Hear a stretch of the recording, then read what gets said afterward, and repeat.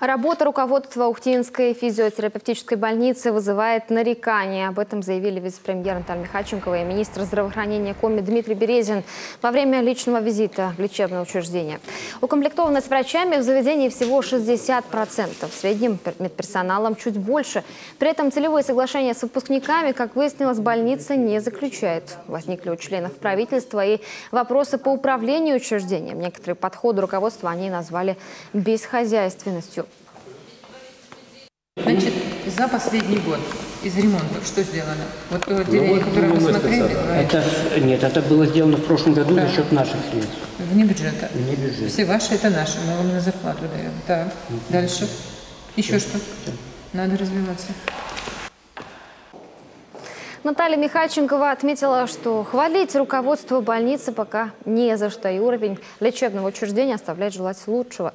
Главврач отметила, что решить проблемы могло бы строительство второй очереди. Оно якобы в 90-е годы было запланировано. Однако, как выяснилось, никакой проектно-сметной документации на строительство у здравницы пока нет.